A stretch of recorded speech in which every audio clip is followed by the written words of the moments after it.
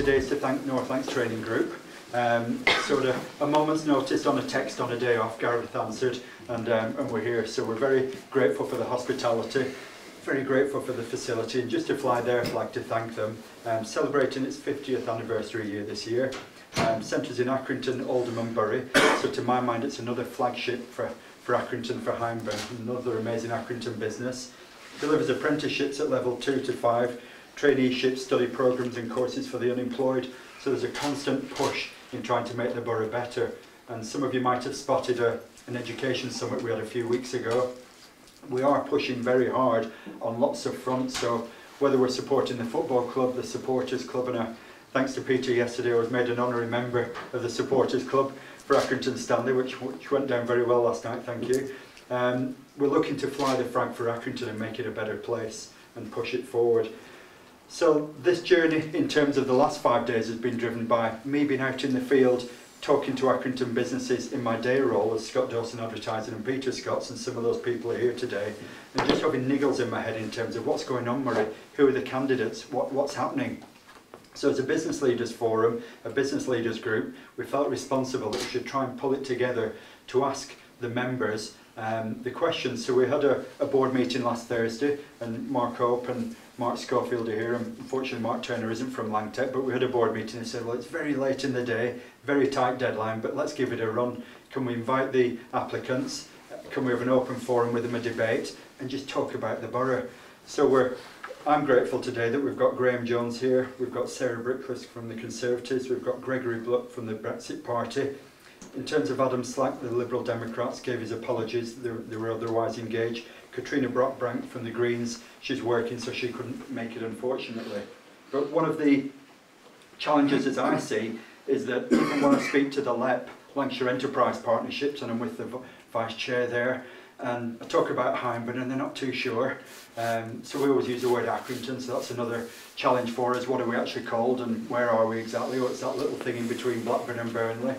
But then when I talked to her about the 85,000 residents, the 36,000 homes, 1,700 businesses, some of these businesses are worldwide leaders, you know, the Emerson and Renwicks of the world, the studios, etc.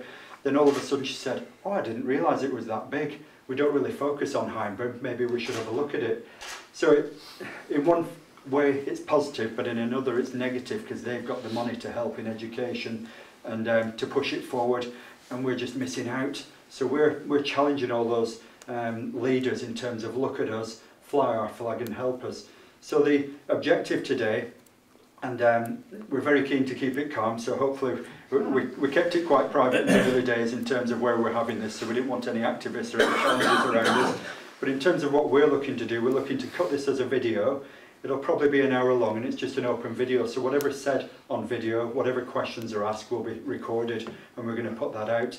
In addition to that, we've asked each of the candidates for just a very quick snapshot that'll be posted as maybe a one and a half minute video later on today from Amazing Accrington in terms of their elevator pitch. What are they going to do for Hyndburn? What are they going to do for Accrington? What are they going to do for Haslingden?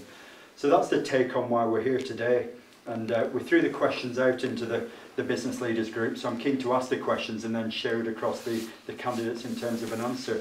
So first of all, Stuart, you were first off the, out of the tracks with a, a question. So do you want to go, Stuart from HML Recycling in town? All right, yeah. So national stuff aside, um, let's you know they've got the big sound bites about the NHS and all the different other policies. But my question is to each of the candidates: What specifically would they do in the borough to help regenerate uh, the borough of Hyndburn? put that to you first, Sarah. Yeah, so firstly, as a group, as a council group, we've seen that there's 30 million in reserves and we'd see that there's 10 million that we could actually spend on that. There's also the High Streets Investment Fund that we could take a bite out of, hopefully, if we had someone that actually put an adequate plan in, which hasn't happened. Um, With that, we can rejuvenate the town centres, bring in more footfall, support our businesses, but it's not just about shopping, it's about supporting other business in Hyndburn. What I've thought about there is reducing the cost for businesses, such as energy costs by maybe having solar panels, so they're reducing the cost, they can stay. There's a, a fit out that I've thought about where a part of this High Streets Investment Fund say we wanted to attract a certain type of business, we would say, okay, well, we'll put some money towards that to fit that shop out for you. But if there's something else coming in that we don't want, we don't do that. So it's about supporting our local businesses, cutting the costs so they're able to stay here and make a profit, which isn't happening now. We've got so many empty properties on our high streets that we need to bring back in. Our council needs to bring back in, and our MP and council should have been working together to do that, but it hasn't happened. Graham? The Town Centre Fund um, is signed off by Jake Berry. I mean, I've mentioned this before to Sara. What contact has she had with Jake Berry, our neighbouring MP, who's the minister responsible for the town centre? But we have to remember this. We've got many town centres, not one town centre, Accrington. There's full occupancy in Haslingden and we've worked really hard. The Great Harwood one, it's easy to forget these places. Great Harwood worked really hard. The town centre, Queen Street's doing really well. Union Road and Oswaldtwistle's doing okay. And yes, there are issues in Accrington, but no different to anywhere else. But that's kind of superfluous to the real big issue. This is about prosperity. How are we going to bring, bring prosperity? And we've, what we've got to consider is our large employers and our medium-sized employers who provide jobs and income. That should be our focus. Now, the town centre does provide some employment, but these big employers are world exporters. They produce goods that go around the world that we're proud of. So the question is, what is it that will make businesses more successful always, always, anywhere, transport is always top of the list. It has to be. If we make transport easier, transporting workers and, and sorting out congestion into the workplace, but sorting out transport so that goods can come in and out and that workers can come in and out and travel, that is really important. That's got to be at the heart of any prosperity agenda is the transport agenda and that's why as the MP I've made sure that the M65 extension now is in the uh, uh, TFN's plan consultation plan for transport, extending that to the M1 uh, and the A1. Also that SELRAP, the missing rail link, and we've got to start talking about other missing rail links. And if the council and councillors were really serious about the prosperity of the area, they'd start talking about SELRAP and the freight rail terminal that needs to go uh, Huncoat on the rail sidings. Let's get serious about things that matter. If we want world-class employers and they're going to containerise stuff to the Port of Hull and Liverpool, let's start talking big. Let's start talking the area up. A couple of empty shops in the town centre is not going to bring prosperity. What will bring prosperity is the big issues of the day. Thank you. Gregory? Well, I kind of, I don't think I can disagree with very much of what's been said, but I would say that I was at Hustings the other day at a school and the question was asked, who here is proud of where they live? And nobody put their hand up. I did. Yeah, well, you I did. asked a question. But I think that kind of that kind of that that's part of the that's part of the problem, isn't it? If people aren't proud of being here, what's the point? What's going to keep them here? I think what's going to keep them here is opportunity. We kind of we give opportunity by properly investing. I know you don't want to talk about the national issue, but you know you can't change business rates without it happening from kind of central government. You can't change corporation tax unless it's directed from central government because these things are important for very small businesses. And where I disagree with Graham is, you know, if you've got a high street that's in absolute decay, then what does that say about the area? And I can, it is Accrington, it's not Haslingden, it's not Great Harwood, but it is, it is the centre of where we are. Now, if you put a cap on corporation tax, that means there's a 10, like we're proposing, there's a 10,000 headroom of payment which could be additional training, additional employment. And you know, things will grow. If you're kind of taxing those limited companies, and don't be fooled by the fact that Jeremy Corbyn says he's going to pay for his fantasy manifesto by taxing the, the oligarchy multinationals, it's all limited companies. So all limited companies will take a hit from, from, from a proposed Labour, uh, Labour government. Don't be fooled by that. So we kind of we give people opportunity, okay? We don't give them free stuff. Free stuff's great, okay? But we give people opportunity. And we do that by redirecting proper investment into the area in the form of regional grants. Everything else is great. Everything else is great, but it's kind of fluff around the edges. Unless you give people real wages, real opportunity, real ambition, a pride in where they live, it's going to fail. Would you like to reply to that, Stuart? Any thoughts? Well, all three um, candidates uh, sort of had elements of things I agreed with, things I disagreed with. As businesses, as, as, a, as a local entrepreneur, you know, I do the basics, you've got to get the basics right. It's all good about the national pitch, and I agree with what you say about corporation tax, absolutely right. You know, if corporation tax goes to back to 26%, which is what is Labour's proposition, then that certainly will affect our business and certainly will affect the amount of money we put into some of the community-based projects that we do. Um, you know, but you know, transport, yeah, I get all that. Parking, Accrington, Great Harwood, parking, I'd sort of, there's a lot of good architecture and Blackburn Road at the front, and then you've got better architecture at the back, and you've got a lot of rubbish in the middle. You know, compulsory purchase them, knock them down, think big. You know, you need more space in the town centre, you need more open spaces, you've got to make it better. You know, uh, and I take what Sarah says about, you know, things you can do about individual attracting little businesses, little niche businesses, little quirky shops and things like that, that will work. Um, you know, Graham's right on the transport, on, on a national get, you know, people got to get in and out of the borough to uh, and the big employers get uh, them attracted. Mm. Uh, and again, you know, the, the point about corporation tax is, you know, for me was, was the big one. Um, in terms of businesses. And, Well, we better move on. I know they're trying to get through half a dozen questions. So another interesting question that came up was from Nick Westhead from Surface Print Company. So do you want to share your... This was just with regards to Brexit. Um, what is it that the candidates think business wants? Should We start with you, Gregory. Well, I think it would be kind of presumptuous of me to kind of answer that in a way, but I think that, you know, there was a clear mandate in the last, uh, in the referendum. And you could also argue there was a very clear mandate in the last general election where 80% of uh, the MPs voted, were voted in on a, uh, on a promise of us respecting the referendum. So I think that um, we've got to leave. And surely it's the job of government, it was a job of the last parliament, to mitigate the issues that are probably occupying all your, all your minds. And they failed to do that. Singularly failed to do that and, provi- and failed to provide any security in your planning going forward. So what do I think businesses want? I think there are some businesses that will say, well, actually, it doesn't affect me because I don't, I don't export. I'm, a, I'm, I'm purely kind of an internal market. I'm a, I'm a, a small or medium company, and I can, and I can withstand any of the kind of the issues that there may be with kind of dealing with kind of the external market wherever, wherever that is. There'll be other businesses, slightly bigger perhaps, that are kind of are, are worried about the kind of the, the tariffs that will be applied and how they kind of manoeuvre their way around that. But, um, but what I will say from talking to the chamber in particular is that, you know, I mean, there are companies in, the, in this area that kind of export to 80, 90 countries around the world.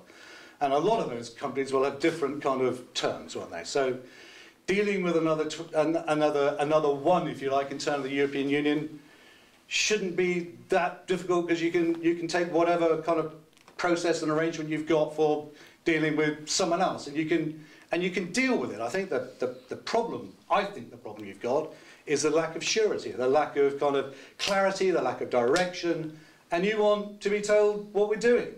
I think that's what you want. Am I wrong?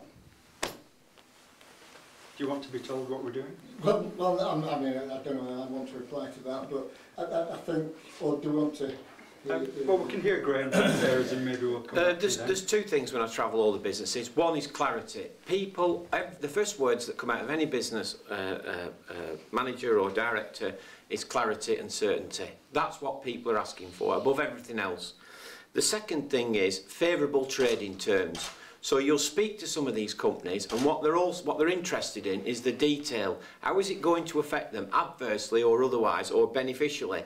And a lot of them are worried that the trading terms that are being proposed won't help them, some of the bigger companies. It'll hinder them in one small way or another. But they're prepared to try and surmount that, but it is creating hesitancy.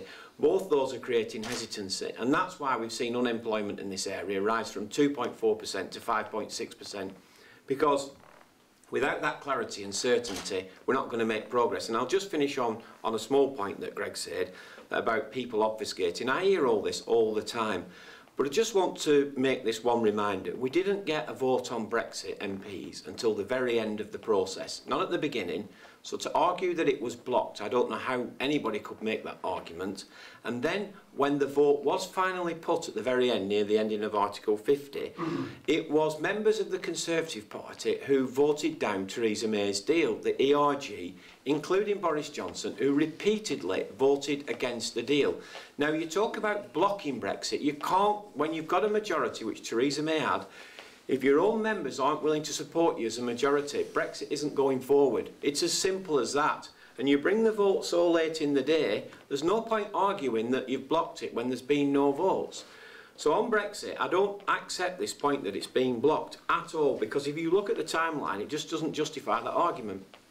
But coming back to businesses, it is really important. When I see rising unemployment because of it, because of um, uncertainty, then that uncertainty must be resolved. And I'll finish on this final point.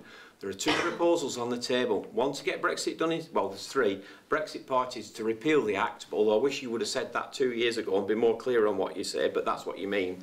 Repeal- Which have, repeal the Communities Act, uh, uh, you want a clean break, repeal the 1972 Communities Act. You should have said that two years ago and being clearer. Didn't No, that's not, a, that's Brexit not, Party didn't exist two you. that's not UKIP, but that's not Oh, well, I'm not UKIP, and let's just squash this now. But- I am not UKIP. I would never have belonged to UKIP. I'm part of the Brexit Party. I would never touch UKIP. Okay, Thank that's- you.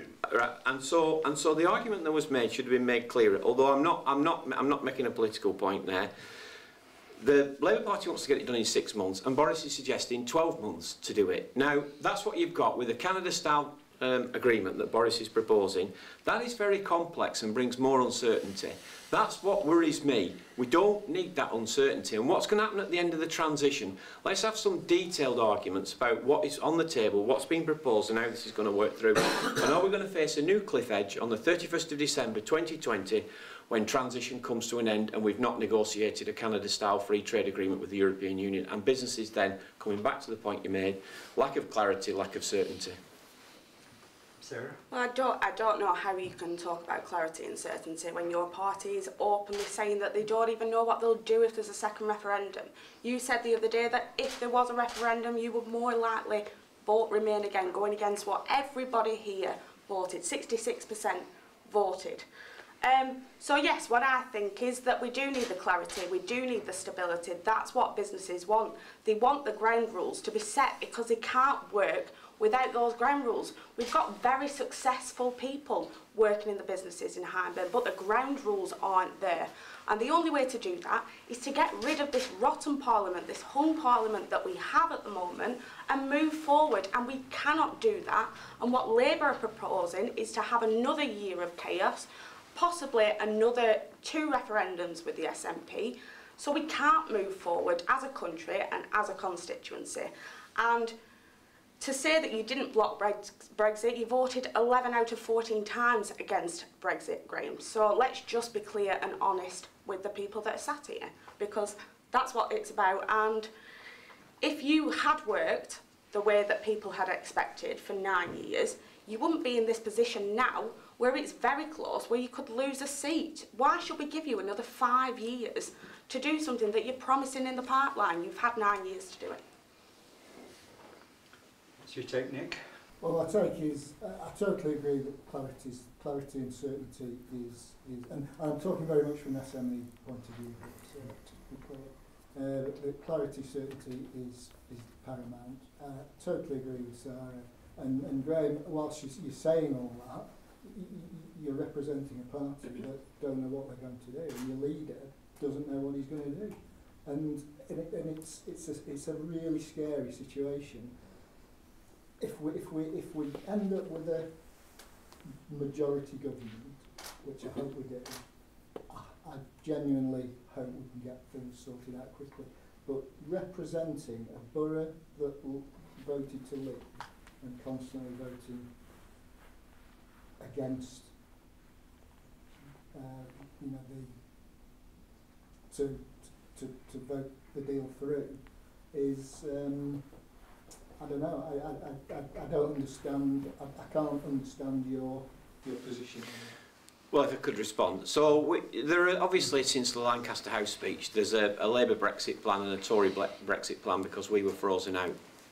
So, I repeatedly vote for the Labour Brexit plan, which I think is better for business. So, we don't want customs, we don't want customs tariffs, bureaucracy, we don't want to impose those tariffs on our major industries, such as the car industry, or even affect agriculture, such as farmers. We want to be clear about that. And the benefits of not having customs means that we solve the Northern Ireland border. And the benefits of having an alignment with the EU on the single market means that we can keep the rules very much similar so that people have certainty. The Labour position is very, very clear. It brings certainty. If we're going to go into a Canada-style free trade agreement, and you, and, and you may shake your head, but you, if we go into a Canada-style free trade agreement, that is very complex. You're going to try to negotiate each and every sector individually, and you're going to put uh, barriers in place for business exporting to our biggest market, the EU. So therefore, for our major employers, and I know you're an SME and I appreciate that, but for our major employers, that is a big concern. We cannot have unfavourable trading terms. Now, my record is to vote for Brexit when Labour's put that proposal forward, and the proposal I've just described, and that? I, I never interrupt you, and you always interrupt. Um, uh, is, is that is to, is to support that plan because it's the best plan for Britain in my view and for this constituency. It's the best Brexit plan.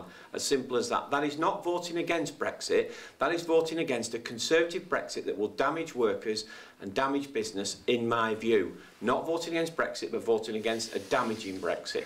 And I think that that is a fair and reasonable position and that's the position that I've taken to support my constituents in what they want these workers what they want as well as the employers. Can I just make a couple of points? Well, let Sarah come back. Oh, sorry. Yeah, sorry, you said in your view. So I know when you started, you said that you were behind Ben and Haslandon's voice in Westminster, not Westminster's voice in Harnben. And that's what you've become. You've lost your morals. You've not become the voice here. Um, as far as it goes, you could have made these amendments when and voted in favour of the second reading and put these amendments forward, but you didn't even do that. So it just shows that you've just blocked it at every time. So I don't know how you dare say that. You could have put these amendments forward, but you didn't. I think that We'll let I, Nigel. I would, uh, Sorry, you keep go asking me questions, but yeah, go Yeah. fine, yeah. Well, I think that Graham's answer was a kind of a typical career politician's answer, I have to say. I mean, and I, I think the problem that he's going to face on the doorstep is nobody's going to believe him, like a lot of you don't. And I want to pick up on two things he said. Northern Ireland border. Now, I've spent longer than anyone I know on the Northern Ireland border, and I certainly don't want to kind of go back to there. again. I was in the army for 25 years, did a number of tours out there on the border. And I certainly don't want to go back to that. Nobody wants to go back to that. But to weaponize it in the way that it's been weaponized is just outrageous. And we can solve the Northern Ireland border without having to kind of cling to the apron strings of Europe. And we've got, we're better than that. And there are, there are, there are ideas on the table now that will actually solve it. So don't be fooled by saying, oh, we've got to do this because of Northern Ireland. Not true. Absolutely not true. There was another thing, but I've forgotten what it was. But, uh, We'll let Graham Just, come just, just to come back to the point um, about, about blocking it. Common sense dictates, look, the Prime Minister's deal was beaten by 230, 150 and, and 58. So that should have been taken off the table. Meaningful vote 1, 2, 3 and meaningful vote, vote, vote 4 is going to be defeated as well. The Labour Party's proposition came within 58, 7 and 3 votes. Common sense says put party politics to one side. I'll speak to you, Sara. Forget the Tory Sorry, deal. Sara. Forget the Tory deal, right? It's lost by a huge amounts. Boris Johnson voted it down. And go with the Labour deal because that is clearly the Brexit plan that most MPs support. And, you, and the problem is, is you have Conservative MPs who will not support the most popular and best plan in Parliament. And you are blocking it because when you come within three votes of getting Brexit through, which I voted for, come within three votes of getting Brexit through, then you should go with that. You have an obligation as an MP to hold your hand up and say, this plan put forward by the, by the Labour Party is clearly the best plan. It has the most support. Let's support it. Not play pet, petty party political games and lose votes by 240 and persist with a meaningful vote that's going nowhere because it's a bad deal for Britain. And even 90% of voters in this constituency wrote to me and said it's uh, 90% of correspondence that I received said it was a bad deal for Britain was the meaningful vote and to vote against it. I did exactly what people asked me to do. Why don't we have common sense and go with Labour's Brexit plan that came so close to getting through and is the common sense plan? I think this leads us into the next question. that came from Ken Shackleton, the MD of Cardboard Box Company. Unfortunately, can't be here today, he's in Southport. So we've got Mark Schofield from Harrods Accountants who's going to push that question. Thank you, Mary. Do any of the candidates feel that a hung parliament can be considered anything other than a political farce, given the issue of Brexit has been the main item on the political agenda for the past three and a half years? Or do they feel that this is the moment in British politics when democracy is set for a future, co- future of coalition governments, as no party is likely to represent the majority of the UK voters? Let you go first, Gregory. God, I'd like to have it in writing actually, because I got a lot, got kind of lost halfway through that. But um, yeah, no, we'd love a, we'd love a hung parliament. I'd love to have 30 Brexit MPs in there holding Boris Johnson's feet to the fire and fighting for a, fighting for a kind of a Canada plus plus kind of free trade agreement. That's what I would love, and I don't have a problem with that. I think um, does it does it usher in a new kind of um, uh, regime of um, working together? Well, perhaps, perhaps it should. And I think our proposals to, you know, change things and shake things up, both at Westminster and a kind of a local level, is, is a good thing. Proportional representation, I think, is a, is a really good thing. And that may well, and that should usher in a new way of doing things. And it should be a more collaborative approach. But um, we've got to get, I hate saying this because it's so trite, but we've got to get Brexit done to borrow a term, to borrow a phrase. We've got to leave the European Union, and then we sort that kind of stuff out. I kind of, uh, so, I don't know. Have I answered your question? I, I, I don't know. I think possibly yes. Am I frightened of a hung parliament? Absolutely not. Uh, is there a is a, is there a way forward where we can deal with things? Well, there should be, shouldn't there? We're a we're a mature democracy. Look, we've had a thousand years to build this democracy. No one's given it to us.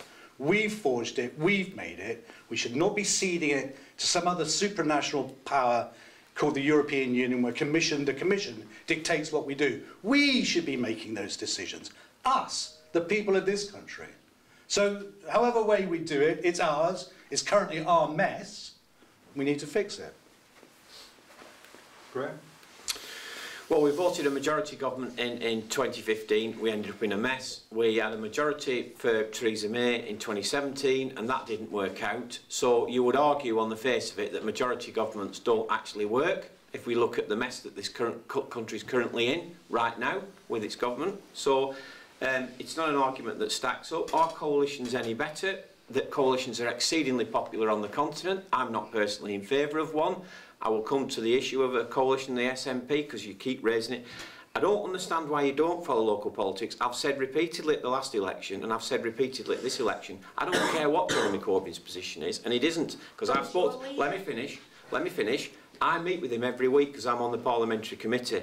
And I meet with him, and I put this to him time and time again. He's very clear: no referendum for Scotland So in the no first, coalition? in, in, and no coalition.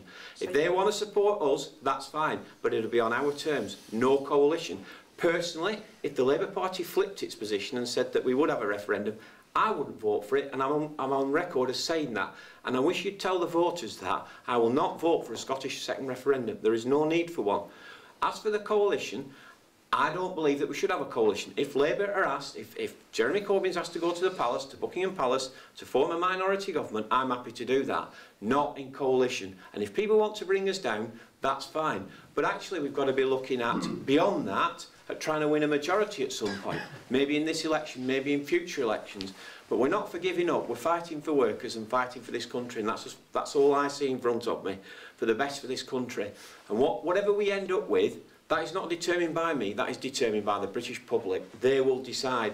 But there will be no deals with the SNP, and this MP has said at 2017, and I'll repeat again, I don't care what the Conservative Party position is, I don't care what the Labour Party position is, you will not get me voting for a second referendum for Scotland. I don't know how many times I have to repeat it to you, Zara, but I'll keep repeating it. But it's not you, is it? It's your party. More, It's your party. So you're one person out of a party, so you're not going to stop that happening, Graham. You can't do that. So there are Um, there are a large you group of us. There are Are no. I was just going to say uh, there are a large Okay. group of us who won't, who will not, who will not vote for an S, for a, for a second referendum, and Jeremy Corbyn knows that. Sorry. Right, okay, so the, the question was about hung parliament.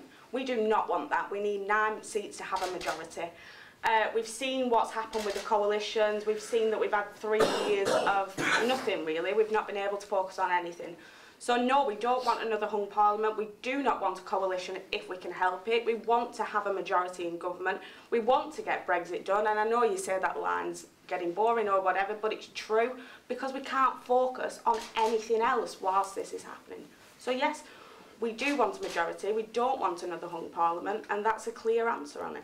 You've 130 ERG who are going to come next year cause absolute mayhem in the transition period. You can't do anything. There's more than 130 coming into this parliament. The, the Conservatives have had a majority for the last four years. In the last two years of Brexit, they've had a working majority and still managed to divide Parliament. So what makes the voters believe and trust you with 130 ERG that if we gave you a majority that you'd still manage to get Brexit done when you haven't managed to get it done in the last two years and it's been Theresa May and Boris Johnson as Prime Minister, not a Labour Prime Minister. You've been in charge, you've been given the authority and you've failed to deliver because you've that many rebels. And what and how can we trust you for those rebels not to appear once again kibosh business for their own ends because that's the way they are. And I think, what did David Cameron call them? Some, some rude name? You know, that is where the Conservative Party is. If you get a majority, it does not mean that Brexit's going to get done. Sara just say the last yes, so word on it's this. very clear, uh, our stance has been clear all along. Uh, all 635 Conservative candidates have pledged to back the deal, so it will go through. Very simple answer. And the trade deal? They've pledged to back the deal. All And- Boris and Johnson's, and all Boris. Johnson's candidates have pledged to back the deal. You know that, so you're just basically What deal? saying you're What deal? Boris Johnson's deal. What deal? The divorce deal or the trade deal? The di- divorce deal. You keep Right. calling it that. There's a transition period where we can then negotiate trade with other countries. It's not a divorce deal. It's actually a very sensible option in terms of rather than a clean break Brexit because we're not walking away without on, not on friendly terms. We're walking away where we can negotiate with other countries while still having that friendship and connection with the EU. Where Can I just say this is the reason why you shouldn't vote for these two parties? you really shouldn't vote for these two parties. We need surety, we need to leave, we need to leave with a clean break, and then all those other side deals that we need will come into operation because we'll have the whip hand. Look, you're in business. You don't negotiate away your position at the very beginning. Come on. It's Mark, obvious. I'm going to bounce into you because I know we've a few more. And I know before we came in here, do you want to admit to who you said you were going to vote for? Um, Go I, on. I'm, I've always considered myself to be a floating voter with a Tory bias. um, but I look at the current That's state not what you said play. earlier. Yeah, I'm coming to, I'm coming to that, I'm coming to that. So I look at the Labour Party, I can't vote for the Labour Party. I think you've been a fantastic constituency MP, Graham. I think you've done a really good job. But unfortunately your party's in the thrall of a, a load of, of, of the left wing and they're going to wreck the country. So I'd vote for you as a man, but I can't vote for you as the party. I look at the Conservative Party and I look at Boris Johnson and I think he's just completely untrustworthy. How can I vote for a man who's as untrustworthy, whose words seem to mean as little as he as, as, as him? Can't vote Brexit because I think we should stay. Uh, I can't vote Lib Dem because we had a referendum and the country voted to leave and we must re respect our democracy. So I'm left with two alternatives. My preferred, my preferred party isn't standing, and that would be the Monster Red in loony Party, because they represent, I think, the situation very well. So what I'm actually going to do is exercise my democratic right to vote and spoil my paper. That was just an interlude. So I knew that was I bet that makes the cut. that was coming. So that was just to calm things down. So thanks for that, Mark. How do you lined up for that one. But it, it leads me into the next one. And unfortunately, Miranda Barker, the chief executive of the, the Chamber of Commerce, um, you know, there's 900 businesses who are aligned with the Chamber of Commerce, so we quote her opinion very well. Unfortunately, she can't be here today, but Mark Hope's going to be representing the Chamber with the question. So I'll hand over to you, Mark. Yeah, so, so one of that, the hats I wear is a, a director of East Lancs Chamber of Commerce. Um, so a question on behalf of, of, of, of the business community um, was really what you're going to fight for when you're down in London on behalf not just of Hyndburn but you know the whole of East Lancashire and Lancashire as a whole in terms of you know uh, helping businesses to to trade internationally. You know we've got a vibrant community of, of uh, importers and exports in the area um, and you know the, the Northern Powerhouse. You know what are you actually going to kind of really work for in the region? Um, but I'm just going to jump in a little bit on the end of that question. Um, when when in the Chamber of Commerce we discuss slightly Brexit, just to finish off on that one. Um, more often than not, the consensus tends to be we just want to know what the rules are going to be and we can deal with it. Um, you know, for the last three and a half years, we've heard the same the same talk really, um, and that a lot of businesses do export all over the world. So you know, the European regime, yes, it will be a headache for them, um, but most of them seem to be perfectly willing to adapt once they know what the deal's going to be. Um, but actually, I've never heard anybody in business say my view is more important than all of my staff's view, for example.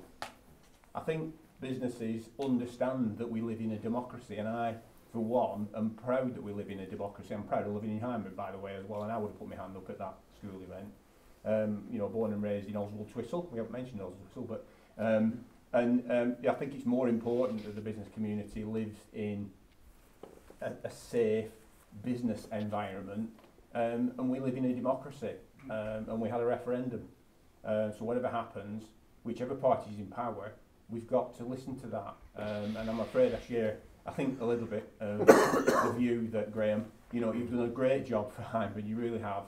Um, but to, to have been elected, sorry, you know, the Labour Party manifesto was to honour the referendum result.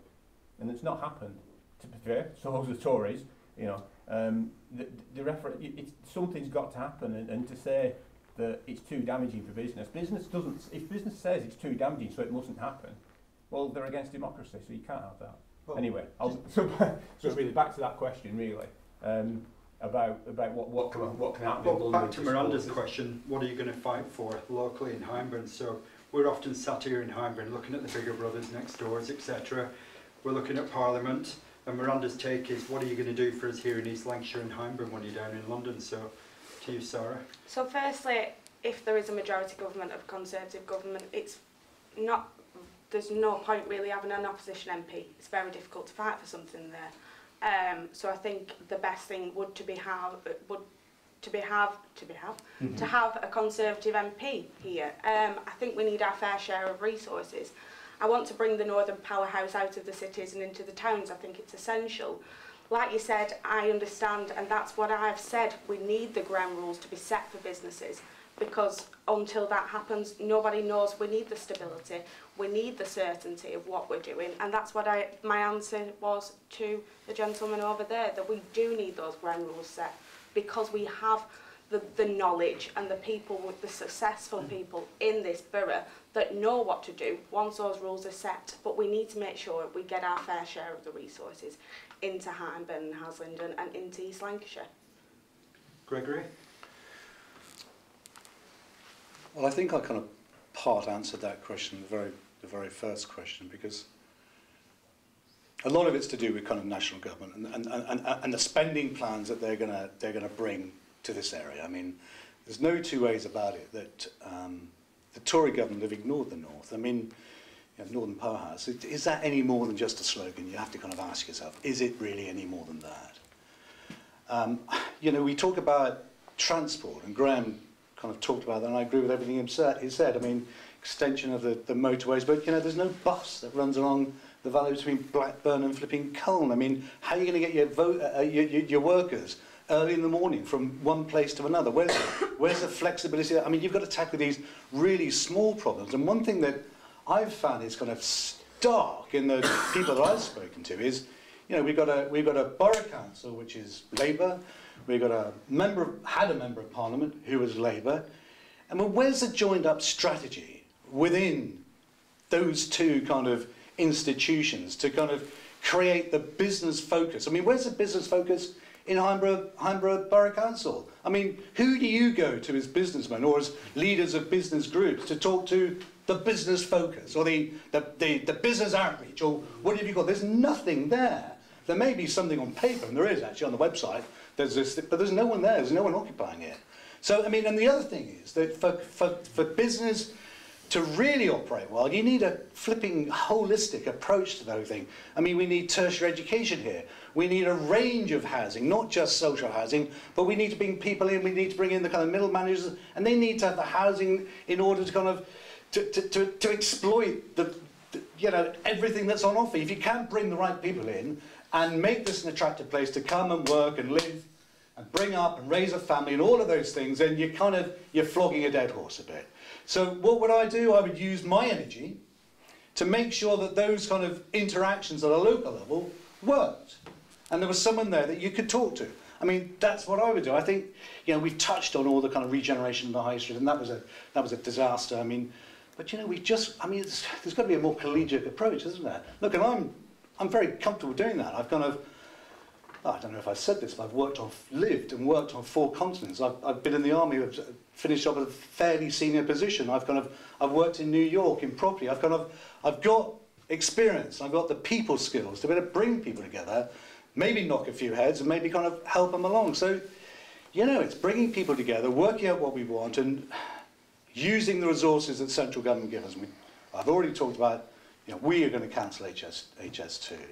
We're going to use the money that we pay into the European Union. We're going to halve the foreign aid budget, and we're going to use that headroom. And this is actual money. This is cost neutral, by the way. It's not fantasy promises of a, you know, of a billion, billion pounds being used as headroom from some secret credit card that the Labour Party and the Tory Party, let's not forget, are kind of using. This is money that is there, ready to be re redistributed into this area. I mean, not all 200 million, of course, but we're going to be part of that whole thing. And we're going to partner with, with business. We're not going to take over flipping Wi-Fi and connectivity. I mean, you know, that's just crazy. You Can imagine John McDonnell running a flipping startup tech company and offering free? I mean, it's just bizarre, bizarrely ridiculous. You've got to partner with people to make sure these services delivered properly.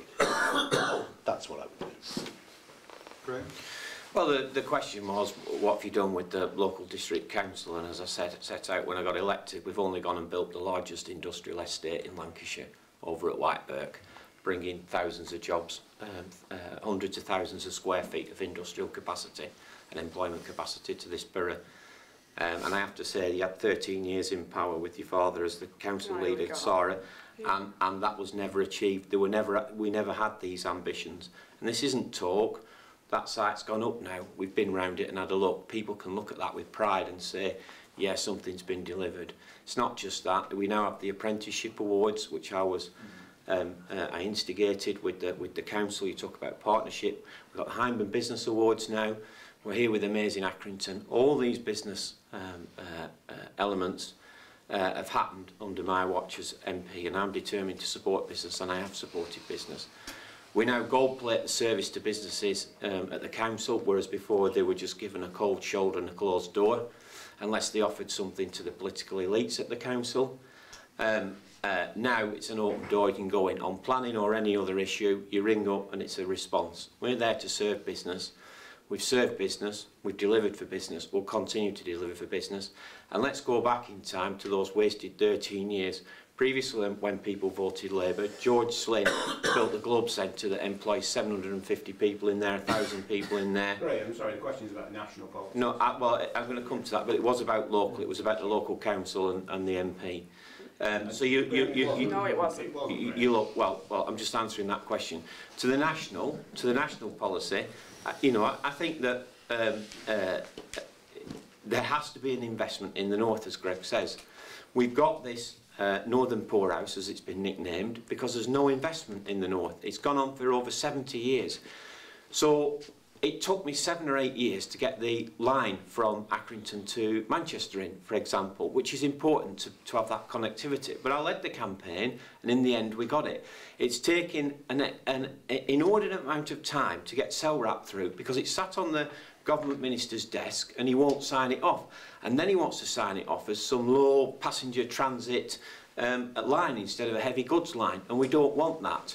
So there are these arguments that need to be had. I won't go to Westminster and be patsy. I will go to Westminster and do what I've always done and fight hard for this area.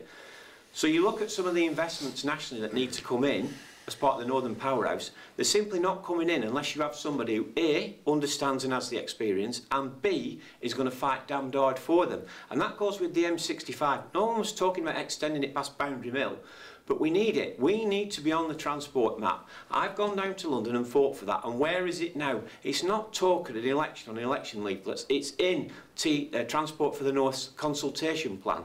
It is done. It is in there. But that's not even half the job. There's far more to be done. So you've got to go on and press hard. You need an MP who understands the issues and is going to fight for national money on the local table. That's what's important and I will continue to do that. And there are other things that need to be done. But I'll I come back to the point that was raised about the council.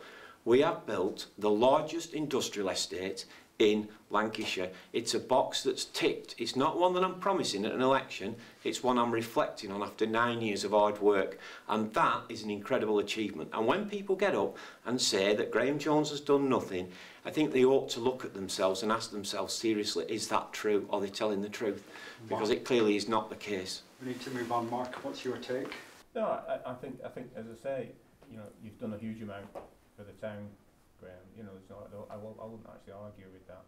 Um, but you know, this is a, this is a national general election, so the national politics, re, you know, in terms of investment in the region, it's going to come from the party that are, or parties that, that ends up in uh, in Westminster. You know, um, so that's we, we just got to see what happens with that.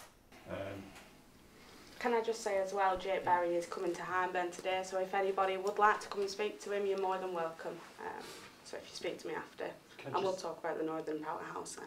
He is the minister for the town centre fund that you keep going on about, and he signed did off that an we adequate did. planning? Yeah, we did. No, did. you didn't. That's Um, what it's come back as. You didn't put an adequate plan in. It was all about road infrastructure. That's not the main focus. Graham. And- so speak to your council about why we didn't get it, not because it's Could I just ask, biased or whatever. You you are a councillor on that council. I'm in who- who- who ex- opposition. and- you're and- in council. and- and you're in raise it. charge on that Sara. council. Your party. Sorry, just to ask the question. Yes. Is that why Nelson and Darwen got it? Nelson and Darwen got, I, I think, about 20 million. 25 million 25 each. million. Yeah. And that's why they got it, because of their They, they, they put a plan in, yeah, that was accepted. We didn't. Zada, we physically spoke to the councillors and they didn't know why they got the money, did they? That's correct, yes. Yeah, we Mm. physically spoke Because they put the adequate plans And in. two years Tony, I'm ago, right, two I? years ago, representing Amazing Accrington, I spoke to, as high as I can go in Hyndburn, and said the DUP have had a billion pound deal, and we have 40 million pounds in Hyndburn for the town centre, and I was just laughed at, Mm. laughed, just turfed away. and then People two need years later, listening. no, but two years later we look at our neighbouring towns, and it was Mike Damms who said there are three nomads in East Lancashire, Darwen, Nelson and Accrington, and we didn't get the money. So part of why I'm here today is to fight our corner for what we want. Yes, it's a national election, but what do we get in hand? I'm hoping to have a camera where somebody stands up and says, you're going to have this in two years, or you're going to have this in a year, or we're going to be fighting the corner. That's what I'm looking for out of the, the day-to-day. And that leads me on to Brendan's question. And uh, I know that as business leaders, this group was formed just for the benefit of everybody here, because it wasn't a business leaders group. In Mike Dam, he was the chief executive of the Chamber of Commerce. Clitheroe, uh, Ribble Valley, Burnley, Blackburn, Rossendale, they've all got business leaders groups. And he shook his head and said, forget it, Murray, there's no empathy in Hyndburn, there's no empathy with the businesses and the council. So we put the effort into joining that together. And it's about communication, to my mind, about what do businesses need. And I know you've had some success with that, haven't you, at Surface Print, in terms of asking for things through the business leaders group. So we, we see that there's a communication that's been lacking. And that also leads on to another question, which will probably be the last one of the day in terms of the name of the borough. What are we looking for? But Brendan, do you want to chair your question? Uh, yes, I mean, my question is very similar to, to Stuart's, uh, who made his at the very beginning, is that uh, to the candidates, um, I'm the president of the Hyndburn Chamber of Trade, which represents a, uh, a, a, a cross a selection of uh, independent businesses in Hyndburn. Um, and I would like to know what would your key objectives be uh, to uh, facilitate growth and support for uh, either independents or, or small businesses or national chains in the retail trade in the town centres of Hyndburn and Haslingden to try and reverse some of the uh, neglect that we've seen in Accrington, because there are a fair number of empty shops uh, in Accrington. It's not just about you know a few empty shops, Graham, as you mentioned earlier. It's, I think it's about 25% of the shops in the town centre. So we're not able to attract people into the town centre. So it's more of a, a, a grassroots question. So it's what's the objectives for the town centre and what are Yeah. we going to be delivering? So Graham, Well, again, I come back. There's nearly full occupancy in Aslingdon and Arwood, and we mustn't forget that. If we're talking about Accrington here, which is like many towns, there is an oversupply. I don't believe people are spending less money in Accrington, but when you open great big supermarkets, which has been government policy for the last 40 years, then obviously there's going to be competition. That money's drawn out of the town centre. In fact, I probably think more money's being spent, but just not where it used to be spent. A fraction of it is now spent in the town centre. And we've got to look at national government policy because if you've got the overheads are incredible. Either we have private landlords with huge rents or exorbitant rents that people clearly can't afford, and we have national business rates which punish. So whilst your Amazons and all your big warehouses that are shipping it by rail mail get away with paying no tax and a very small amount, competing in the same market, you have the supermarkets competing in the same market, you have these online retailers competing, whilst our uh, retailers in the town centre have to pay these exorbitant business rates and rents. This is a case of national government policy has to change. I'm not saying I agree with the Labour Party's position on this. I have a very clear view. We must lower and equalise business rates and rents if we are to have the market conditions that allow those uh, retail facilities in the town centre to succeed. Now, whilst we have the current government policy that we have now, we have to think differently. And doing that is shrinking the number of retail units. So we need investment in housing. So you're starting to see that where we talk about town centre living and bringing people in. We've got to have a, what is a backup plan to try and do something. You will have seen planning applications go in for housing, it's about generating it, about turning some of these into upmarket flats in the town centre and trying to change the dynamic and bring service industries in or other things that are, uh, are tactile so that when people come in, they need to feel them before they buy them, or they're a service industry, as opposed to just box shifting and uh, uh commodification and sales through of commodities or white goods, etc., which are long gone. So we need to have a very clear view, and that's the view of the council, and it will encourage this. But whilst we don't get the money from the government for the town centre fund, deny it to us, won't give it to us, say that it's not quite right, the bid, so they'll throw Accrington under a bus, that we're not going to succeed. We need to change national policy and the government needs to recognise, instead of a northern poorhouse, it needs to invest in Accrington. And that, as I said, when the question was asked by Zara, who's proud of their area, there was only one of the three candidates who put their hand up and said, I'm proud of Accrington. Because I asked and, question. and I am proud of it. And you didn't put your hand up. Because but I am question. proud of it and I did put my I hand asked a up. question. And I'll always be proud of it and I'll always fight for it. But to answer your question, there are national issues and there are local issues.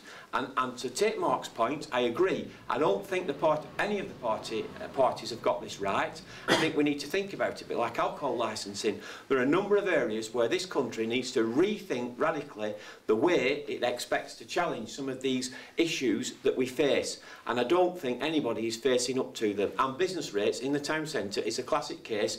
Why should it be the same in London as it is in the northwest or Accrington or wherever else? Why do we have that and why do we have these disparities between online and supermarkets and town centres? We have made it so that town centres can't survive. We've set them up to fail, not Accrington, everywhere, and that needs to change. You can move on to Sarah. So I think we all know that the Conservative Party is a party for business and entrepreneurs. We want people to succeed we always have done what we've seen with, although you're saying you don't agree with them, you are part of the party, so why did you not turn independent and fight for the people, Graham? Um, I would be the people's representative, so I would come and I'd listen to what we need, and I think that's what we're missing out on at the moment. We haven't had someone. I don't pretend to know everything. I don't, because I, I can't. And everyone can say that, and at least I'm honest about that. Um, but I will listen to what is needed here. I will, I will fight so hard for the investment to come back into Hyndburn, make sure we get our fair share of resources. The Northern Powerhouse, like I've said, bring it into the towns, out of the cities and into our towns and get our fair share. But we need a voice um, in Westminster who listens to the people and we haven't got that right now. Gregory? I think it's kind of it's it's almost too big a question in a way, isn't it? Because I mean, it affects just every kind of facet of facet of life, from kind of town planning. Surely that's that's a big issue. You have got a ring road. We're talking mostly about Accrington. You, you've got a ring road around Accrington that, that kind of makes people kind of go around the town centre. So, you know, we need to look at the kind of the town planning there. We need to look at kind of some of the things that Graham talked about actually. I mean, you know, bringing tactile things into the town centre so people are kind of encouraged to come in for an experience rather than just maybe a, you know, to shop. And that's, that, that, that's also key. We need to kind of, I mean, we really need to kind of, we need to sort out the kind of the, the occupancy levels and cutting business rates, and which is what the Brexit Party is saying outside of the M25, we're cutting business rates. Okay, and that will encourage more people. And, and hopefully, you know, we won't have this bloom of kind of charity shops because they don't pay business rates. There'll be other enterprises that are set up to, to, to do likewise as well. You know, limited companies are going to get a, talked about it already, 10,000 kind of pound headroom to be able to kind of invest in more stuff or people or, or training or whatever, it, whatever else it is. But I think that, you know, it, it, I mean, you know, the bus station where it is is that best place and how can we kind of better use that to bring people back to the market, which is now devoid of the, the customer footfall that it, that it had beforehand. There just seems to be a lack of a joined up approach. And it's easy for me to say because I've not been in government, I'm not involved in local government. But maybe that's what we need, isn't it? Maybe that's what we need. Somebody to just say, well, why did that happen? You know, we're not talking kind of left and right here. We're talking kind of common sense here. Why did you do that? We need to kind of, we need to have a, a system and a process to be able to kind of look at these bright ideas and kind of say, well, that bright idea maybe not work here. And what Graham says that Accrington is just a symptom of the rest of the UK, I tell you what, you, know, you don't have to go too far down country to see other towns who are struggling likewise, but not to the same degree as Accrington is. And I'm sorry, I, I don't buy that. I really don't buy that. I mean, it's a proud town. And we should actually, you know, we should kind of think about its history and work our damn bestest to kind of, and you're only to do that, you're only, you're only going to do that with the proper funding and the proper system and mechanism in order to kind of create the opportunity. No good, I've said this before, no good throwing free stuff at people. You've got to throw opportunities at people. Unless you do that, it's not going to fix itself. But, you know, we need to look at the whole thing. I've talked about, you know, transport, housing, you know, all of that is important. Education, tertiary education within this this area because you're only going to draw people in by offering the whole range of kind of stuff that people want from their from their town from their region I think from the research that we've done what we need is a champion um, somebody to actually rise to the challenge to, to make change and push it forward so there's lots of initiatives that have been mooted around and when we look at other boroughs um, it's somebody that floats to the top that wants to take it on and build a plan and push forward and pull that together and create an attraction. So the analysis is there, but often the funding isn't there, in my opinion, which is what we've been pushing for.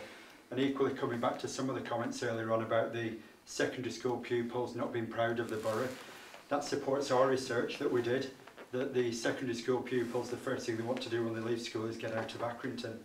And one of the other ideas with the Amazing Accrington initiative is to make us a lot prouder So when we look at, say, the football club that was challenged years ago, I was on the board 12 years ago, and that was a, a challenging um, period. They had going around the table to pay wages every week, etc. And hadn't paid the water bill, hadn't paid the rates, etc., etc. But there was a champion that went in there, Andy Holt, who's actually turned it around. He's got us into League One, and it's bringing inward investment into the borough once Sunderland are playing. So that I know we need to be fast. So that leads me on to Peter Leatham's question from the Accrington Stanley Supporters Club, which is a, a different direction altogether and one I didn't expect today.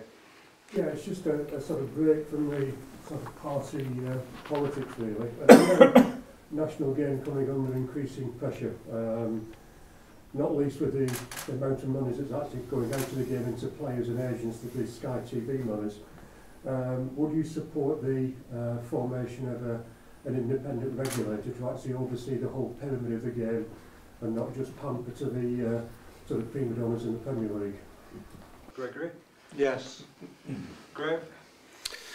Uh, I just want to pick up on a point on that last Pride argument. The, just to mention to people about the town centre, the council's budget in 2010 was, was, was just over 30 million. It's now under 11 million. I just want to point that out when people say about the council, its ability to do things, cut by the government. Coming back to football, I agree with Andy Holt. We need an independent regulator, and Andy's made some other comments.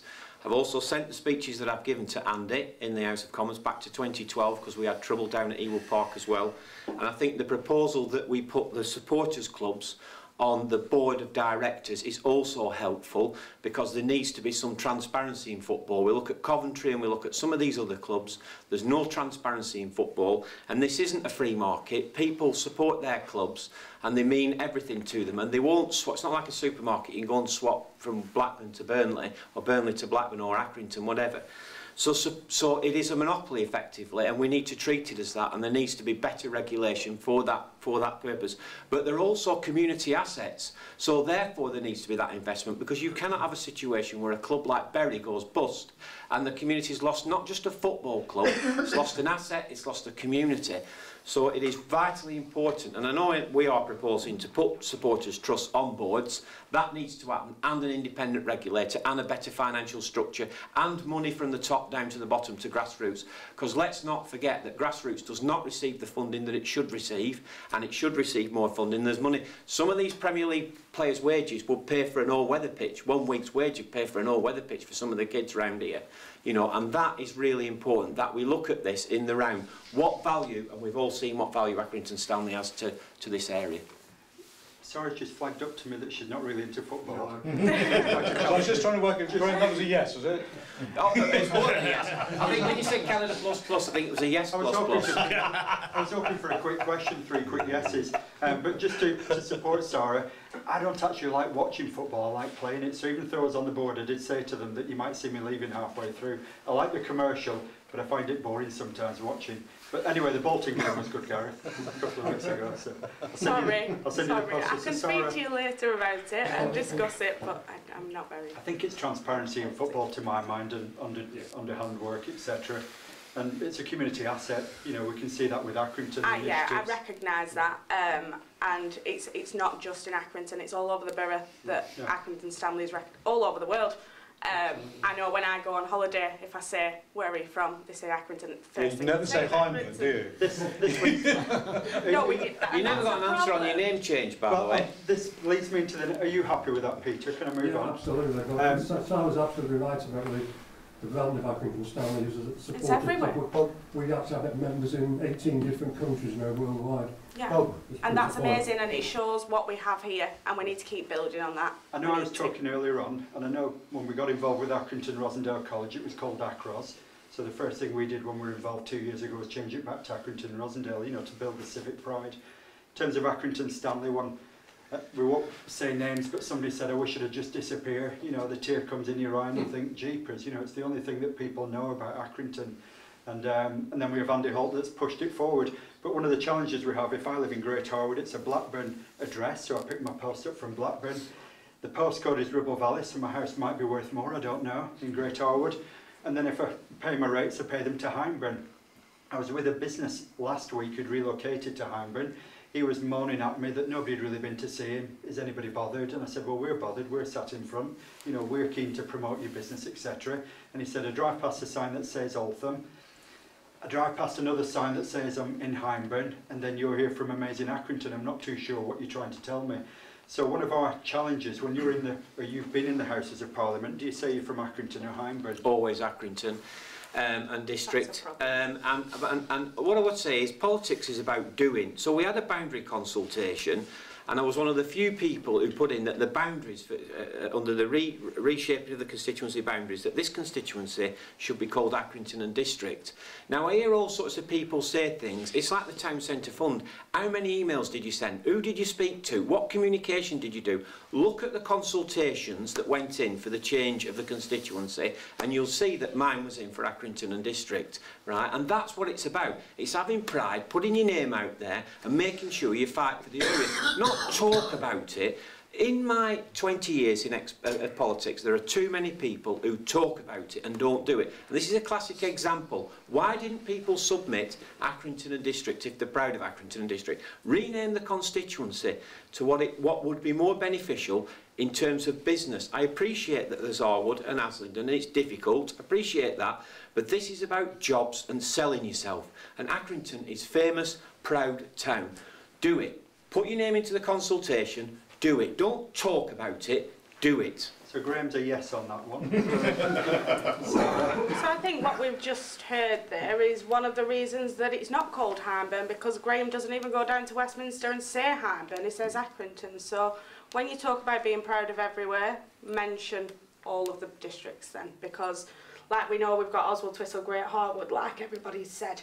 so it needs a voice for all of that. And yes, a name change would be great, but you are then cutting out the other places as well. At least they feel included in that. We do have an amazing borough. We've got the community spirit there, as you'll know with Amazing Accrington. We have the community spirit here.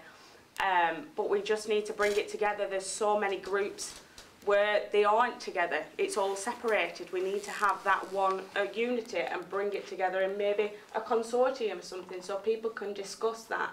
Um, but I do think you need pride in the whole area, um, not just Accrington, because Accrington is what people call it, but I want to be able to say, well, I come from Oswaldtwistle and people recognise where it is, and that's important as well.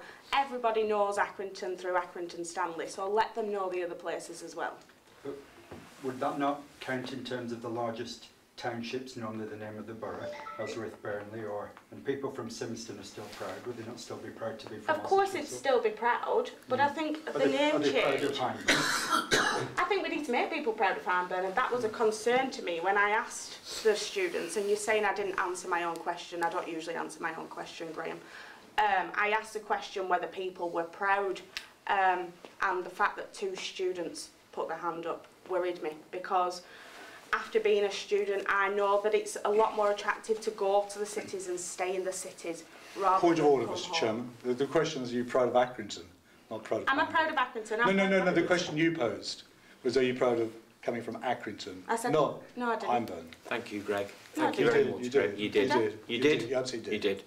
Well, the, Yeah. well, Majority alright. rules Are you here, proud of two to from three. Accrington? Yeah. I know we're running short Yeah. of Anyway. time, Gregory, Yeah. so do you want to... Branding, I think, is kind of really important. I mean, it, I think it, ha it has to be Accrington, doesn't it? And I think with the kind of the, the boundary change which is in the pipeline, and that makes Accrington much more central. I mean, you could argue Clayton-le-Moors might be, but I don't think that would ring. But I think you can't call this, you know, East Lancs West or Mid East Lancs or or, or. It's it's just it's just a kind of a Yeah. it's just a ridiculous kind of concoction which kind of doesn't hit any notes. Accrington does hit a note, Hyndburn doesn't, and any other name that you, you may come up to try and be more inclusive hits no notes at all. And if you're going to brand yourself a, around, you know, Accrington Pals, Accrington Stanley, Yeah. Jon Anderson from Yes, we'll, we get, we'll get there maybe. But you know, you need, you need, it needs to be Accrington, it has to be Accrington in my view. But then what would you do about Haslingden, who already don't feel included? Well, they won't be there in the boundary change Is rules. that- Good point, Greg. But these boundary changes haven't gone through. Well, they, they're, well, they, they're about to be signed off, aren't they? I mean, they would have been signed off no. had we They have- not No, they're not about to go. They- they- gone into such So a tangle. You were spot on, What Greg, we're saying and they'll come back. how are we going to bring it in right now?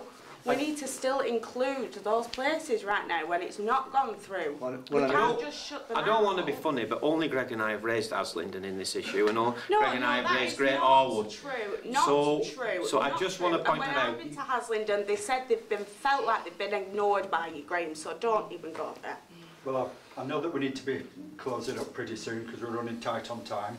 Um, from my point of view, it's something that we've been challenging for a long time and we changed the name from the Lifestyle magazine, which was soft, meant nothing, to Accrington to be proud and to put the civic pride back in and that's why the events have been happening and the supporters club yesterday when I treated them to a chippy lunch, all 20 of them, um, on Church Street Chippy, they said that, wow, these events are great, it's what people see, the public. So I think we've got to do lots of things well. And um, it's just a consideration and it's open for debate, so that's why we were keen to raise it today. We're all on camera, so we can look back at it in years to come, hopefully. and be held to account. They were all warned beforehand, so we, did, we were transparent on that. But is there any other very fast question that's a yes or no, Mark? Uh, Greg, you said you were going to cancel HS2. We are. What That's our plan, yeah. Why? It's that's Vanity absolutely project. vital to, Vanity to the project. north. It's, Absolute it's vanity project. absolutely vital to don't so. increase. It's a huge the amount of average- money for you, a Let me project. finish. I only speak once a year, and this is it. there's a massive inequality between the north and the south. And HS2 is going to be vital to start to redress that inequality. Well, I think, I think what it, you know, you cut your cloth accordingly, don't you?